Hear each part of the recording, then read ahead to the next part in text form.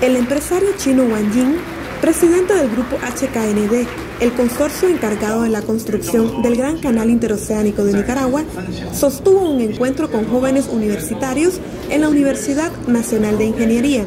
En el acto, Jin expresó a través de una intérprete que no van a iniciar el proyecto sin estudios factibles, científicos y completos.